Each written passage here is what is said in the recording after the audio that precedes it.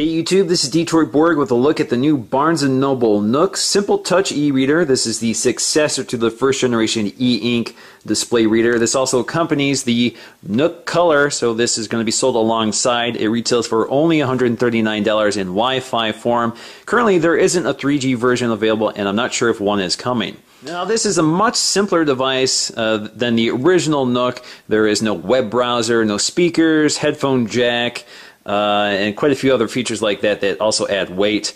Uh, so this is just an e-reader. Uh, if you want to use this for other things, you're going to have to hack it. This is running um, uh, Android 2.1, and on top of Android 2.1 is the Barnes & Noble UI. So let's go ahead and crack this open and take a look.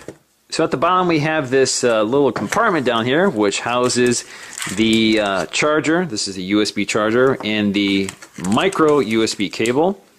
We're just going to lift up the cover and there's our Nook inside a styrofoam cradle. So underneath that is the instruction booklet which is just a quick start guide on how to use it. So here we have the Nook with this ample bezel around the side. You can actually see there are little ridges here, which are the page turn buttons, and we'll demonstrate that once we get powered up. We have the Nook logo embossed up here. We have this little menu key right here. On the back, we have this soft grip rubber texture. It's plastic.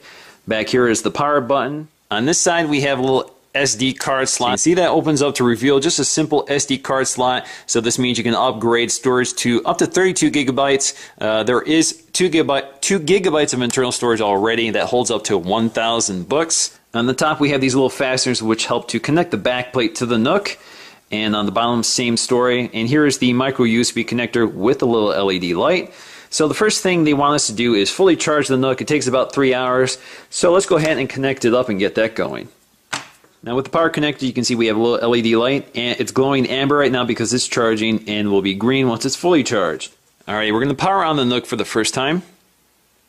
We're going to hold the power button.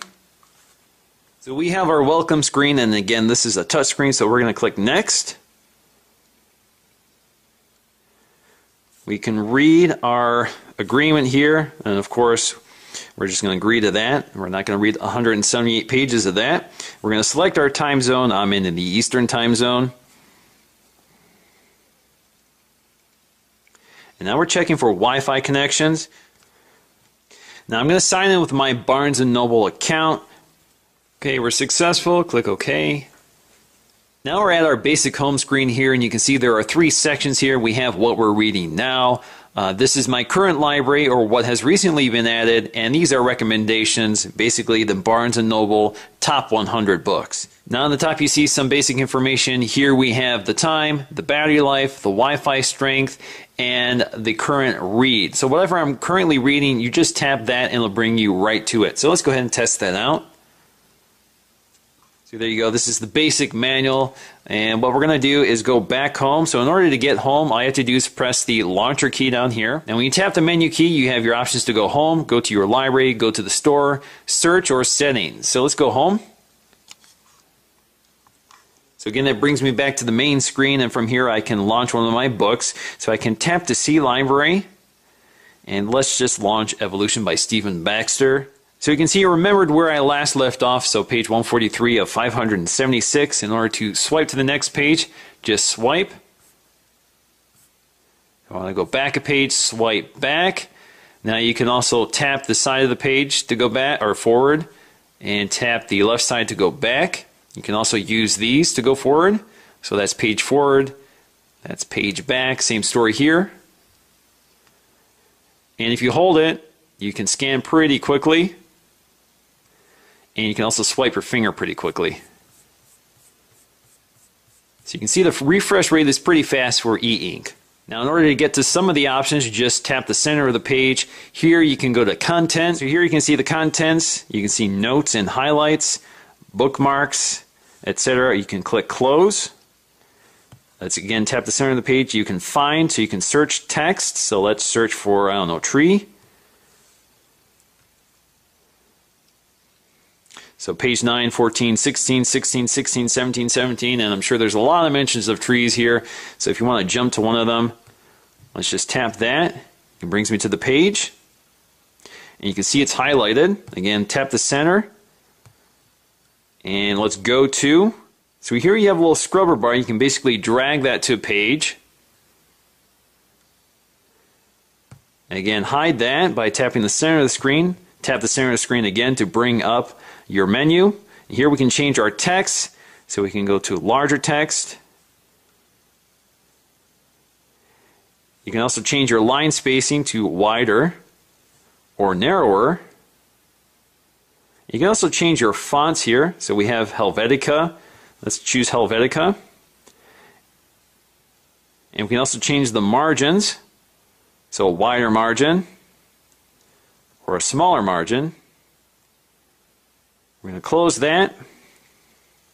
Tap the center again, go to more.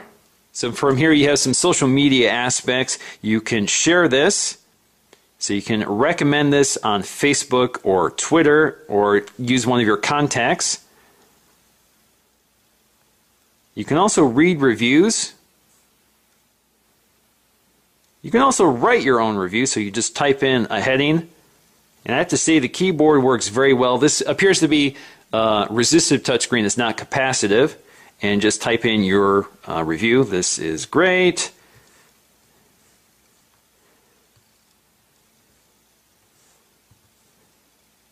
So there you go. We're not going to post that, but that just gives you an idea. And you can see related titles. Now let's take a look at the store. So we're going to go to Shop. You can search by books.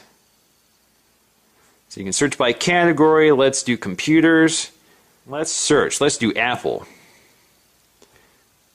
So here you see the top search results for Apple, and we have a list view here, and you can scroll through that list view, and you can tap the thumbnail version and actually see the cover artwork. You can see it refreshes pretty quickly.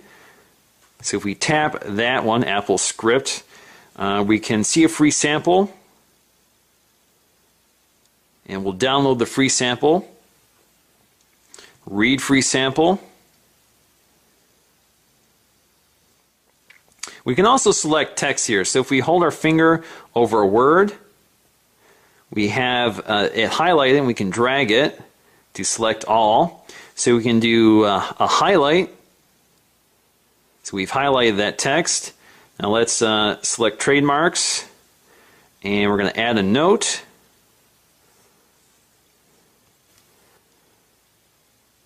So there you go. You can see I have a little note here. If I tap that note icon, you see my notes. And let's uh, select another word here, written. We're going to go to share. And again, we can share part of that with uh, our contacts, Facebook or Twitter. Or we can also look up, and this will search our dictionary. So registered, here's our dictionary definition. Now let's go to settings. And we can see our device info, wireless. We can uh, manipulate our screen here. So we can do a screen timeout of five minutes, or we can do shorter or longer than that. We have a screensaver here so we can uh, select uh, nature or authors. We can also add our own screensaver if we upload a JPEG, GIF, PNG, or bitmap. We also have reader settings, and this is where you can change the behavior of these buttons, whether the top button is page back or page forward. There's also quite a few social aspects to this Nook, so we can uh, link to Facebook, Twitter, and Google. This is where we would enter those passwords.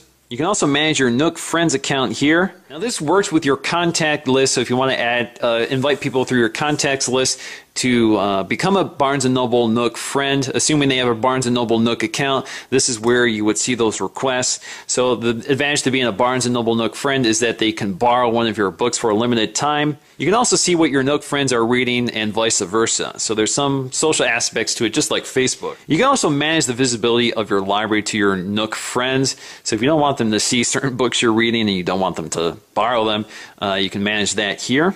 And it's important to note that not all books are lendable. That again, that has to be authorized by the publisher. So uh, I actually don't have any that are lendable. Actually, I don't think I've ever purchased a book that I could lend out. So anyway, uh, that's a possibility for some books. Now to wake the Nook, just press the Nook key or menu key, and you have a swipe to unlock feature here. So again, that's just very similar to an iOS device. It brings you right to where you left off, which is my book. Now, if we compare the Nook Simple Touch to the Kindle 3 and the original Nook, you can see there's quite a bit different in terms of their dimensionality. Uh, the new Nook is 7.6 ounces, this is 7.8 ounces, and this is over 12 ounces, so this is quite a bit heavier. Both of these devices are actually more fully featured with the exception of the touchscreen. Uh, so these actually had speakers, headphone jacks, uh, you could play music, you could browse the web, that sort of thing. But with the Kindle or with the new Nook Simple Touch, none of that's possible. It's just a bookstore and uh, an ebook reader. Now, besides the frame and all the features bolted onto it, you can see they have the same size screen. They're both 6 inch uh, e-ink screens. The touchscreen doesn't seem to affect the readability at all. They look exactly the same. Uh, now it's it's a little sharper than the original Nook. You can see it's a little darker, it's a little muddier. So there's a higher contrast ratio on both these devices. If I were to compare these two, they look identical. I don't think there's any any difference. Now if we compare the new Nook to the old Nook, you can see the old Nook was a bit thicker. You can see, of course, the, the old Nook also had those rails along the side to grip onto it. So ergonomics has always been important to the Nook design. You can see the same characteristic here. But again, if you look at the bottom again, you can see there's quite a few less features here evident. There's no speakers or headphone jack. Same at the again, top, we have the power button up here, and this time the power button is on the back of the device. Now, if we look at the Kindle 3 versus the Nook again, you can see the new Nook is thinner. Uh, there are a few more features on the Kindle 3 again. You see these, um, there's a headphone jack, there's also speakers on the back.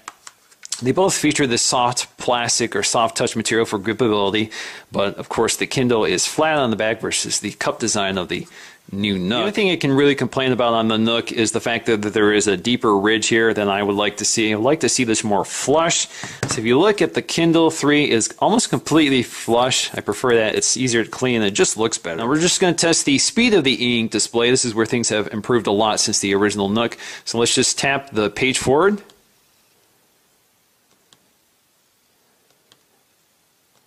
Now speed doesn't seem to be the issue here, but you can see that this screen flashes every time it has to refresh the entire page. The new Nook uh, with the latest e-ink display doesn't have to do that. Now, it looks like they're about the same speed, so let's just hold down the button and see what happens.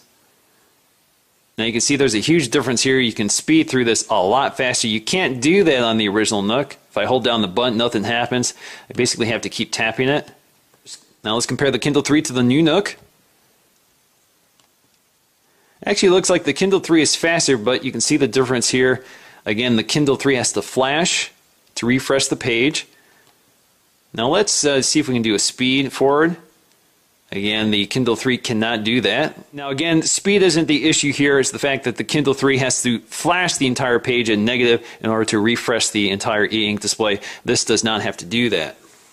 Overall, I can absolutely say that the new Nook is the best e-ink device on this table. I think it's got to be the best device out there. It's the only really good touch display besides the Sony e-readers. But this is very cheap, only only $139, so it's similarly priced to the Kindle 3. It's a lot cheaper than the original Nook. You do lose some features. Nobody's going to really want to browse the web with these things because the e-ink technology is poor for that. So they've eliminated those features. They've made an incredible battery life. This lasts for two months. This lasts for one month. This doesn't last that long. I'm not sure what it is, but uh, this is definitely a superior device, I think, for an e-ink for an e-ink reader. It's lighter weight. It's more ergonomic to hold and handle. It's well balanced, has a nice grippable surface on the back. I also think the UI is much better on this. Again, having touch on a device is far superior to having physical keys. And this sort of interface I think was better and more flexible than the Kindle 3. Uh, but still, it's a little clunky, and you, most people are used to touching screens now, so this was still something hard to get used to and never was really intuitive. I wouldn't recommend this for everybody. And in reality, if you want a more fully featured device, really the device to get is the Nook Color. I really like this device. I think it's bad for reading anything. I don't really like reading reading on LCD displays at all. Uh, but this is a great little tablet, and if you like having a little more functionality, such as web browsing, this is a way to go. This is $249, uh, so it, it, you can get this pretty cheap. So you have the best of both worlds in the Nook universe. So once again, guys, this is Detroit Borg taking a look at the new second generation Nook Simple Touch e-reader. Thanks for watching. So let's go ahead and crack this open and take a look.